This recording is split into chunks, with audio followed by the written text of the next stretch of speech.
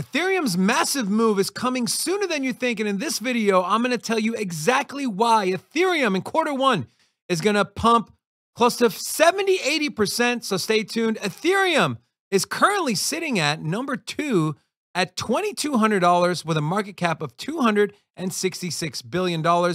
We've seen a massive rally in altcoins.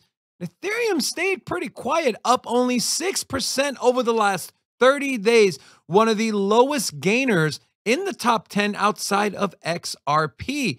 Now, Ethereum against Bitcoin has been bleeding. This is the one day chart, Ethereum versus Bitcoin. It has been bleeding since September of last year. But the good news is if we take a look here, we are at all time support for Ethereum versus Bitcoin. So the only move here is for Ethereum to continue to go up, retest this top trend line, and then skyrocket forward.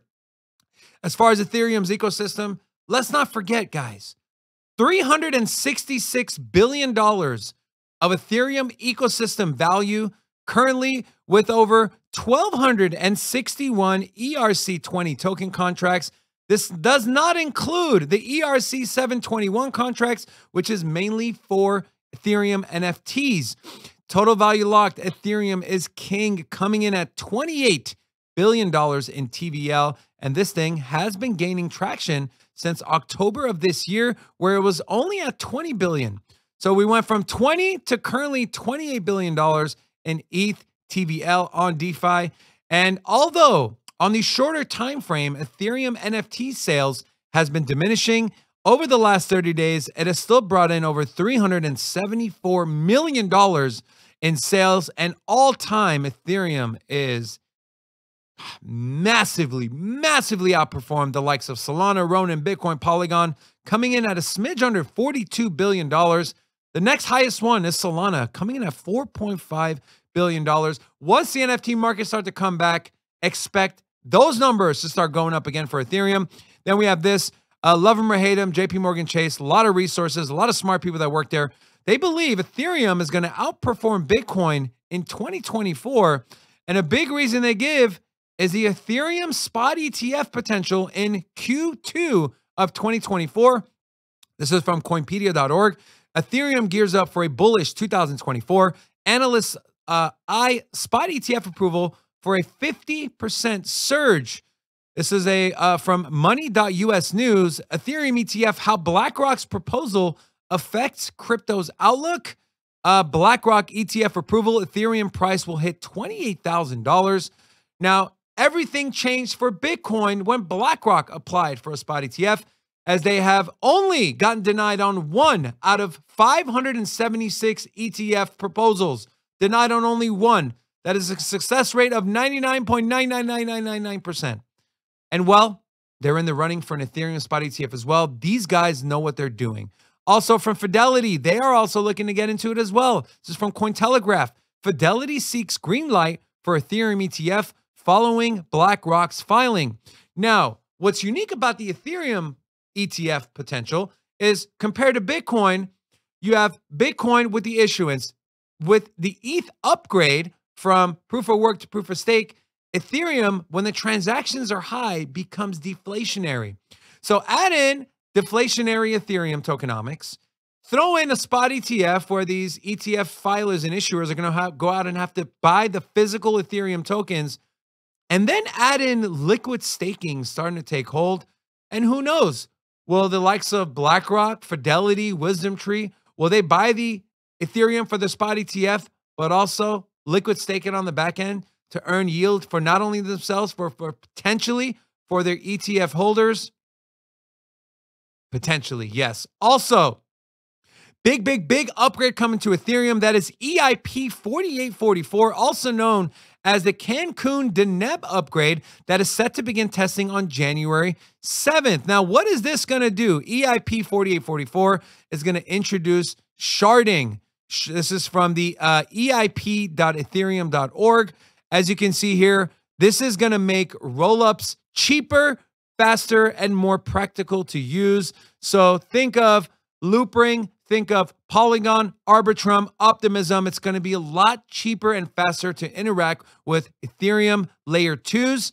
Also, here, speaking of EIPs, I spoke of the deflationary mechanics of Ethereum's tokenomics. Well, EIP 1559, which was launched last year, we've seen a total of 3.8 million Ethereum tokens burned, which is around $10.7 billion of Ethereum has been burnt in its tokenomics. You can see here on this chart, we have seen a, a big spike up since since uh, this was January of this year. We're currently sitting at 2.7 million, and we are now sitting at 3.8 million Ethereum that has been burnt, with the highest daily burn coming in at 71,700 Ethereum burnt. Now, talked about the merge and Ethereum tokenomics. So this is from ethereum.org how the merge impacted ETH supply. And this little box here, I want to read some stats here.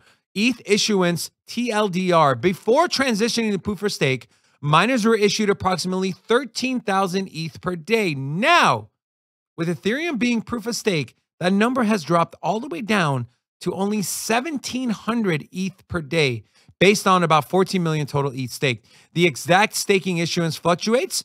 Also, since the merge, only 1,700 ETH per day remains, dropping total new issuance of ETH by 88%.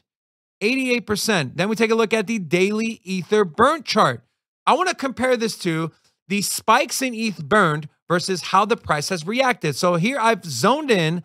This is a uh, from January 2022 through July of 2022. And if we take a look at Ethereum here in the same time frame, we take a look here. Ethereum gained in that same time frame 48% in the price of Ethereum appreciated.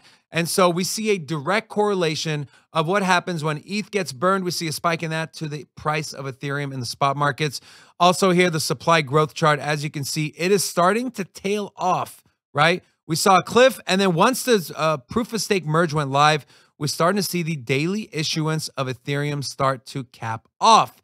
A lot of things are working for Ethereum. Then staking, what does that bring? It takes coins out of circulation as people stake it to earn rewards. As you can see here, this is on ethereum.org. 28 million Ethereum is staked with over 895,000 validators earning about 3.5% APR on Ethereum. Now, I mentioned Q1, we're going to see a big move in Ethereum. Why? Well, historically, to get Ethereum quarterly returns, on average, Ethereum in Q1 has gained 97.48%. That is on average. That is by far the best quarter for Ethereum, period, with Q2 coming in at number two at 75%. So we can see a massive first half of Ethereum going into 2024. As far as some price targets, this is ETH on the daily. Again, I have the 10 day and the 21 day exponential moving average. And I want to point a note here anytime we have dipped below the 21 day moving average, ETH has seen a massive rally. Let's take a look here. Back on October of this year, we saw ETH rally about 20%. Back in this was November of this year, dipping briefly below this 21 day moving average. ETH saw a short term rally of about 12%. And guess what, guys? We have officially crossed below the 21 day exponential moving average for Ethereum.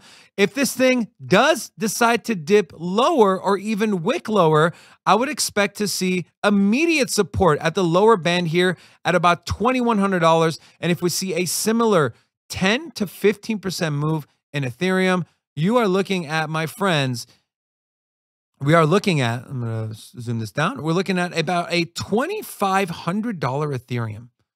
And that is going in to the best quarter for Ethereum all time. We are bullish on Ethereum. Are you? Let us know in the comment section. Also, make sure to check out our live show Monday through Friday, 2 p.m. Eastern Standard Time. Like the video, subscribe to the channel, and we'll see you in the next one. Peace.